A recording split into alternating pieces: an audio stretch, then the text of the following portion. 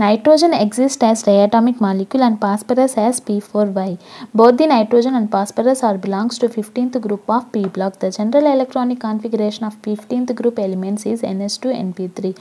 Down the group electronegativity is decreases, size is increases and pi bond forming ability also decreases due to increasing in atomic size. If we write the Lewis dot structure of nitrogen that means representation of electrons in the form of dot or into. Nitrogen atomic number is 7 1s2 2s2 2p3. Nitrogen has 5 electrons in the valence shell now move on to bonding in nitrogen.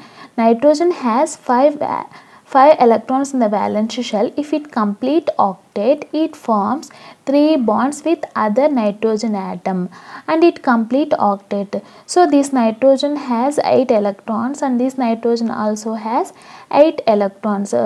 So finally 3 bonds are formed. One is sigma and remaining are 2 pi bonds.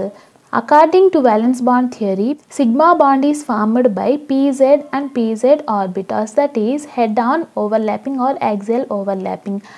px and py forms pi bonding that is parallel overlapping or sidewise overlapping with the opposite spin.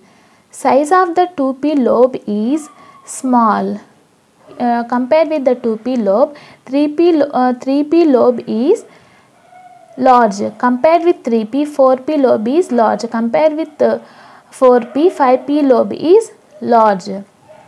Due to small in size of the 2p lobe 2p 2p overlap is stronger overlap. So it forms strong bond Moving on to phosphorus, phosphorus atomic number is 15, electronic configuration is neon 3s2 3p3, outermost shell is third shell. Uh, so to totally it has 5 electrons in the valence shell. Uh, question is why P2 does not exist?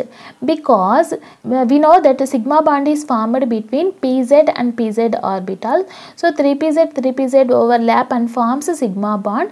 But pi, uh, but pi bond is formed between 3P, uh, 3PX and 3px 3py and 3py uh, because 3p 3p overlapping is a weaker overlap. So we uh, so it forms weak bond. So weak bond does not exist that's why p2 does not exist next to move on the structure of p4 in the structure of P4, how many phosphorus atoms are present? 4.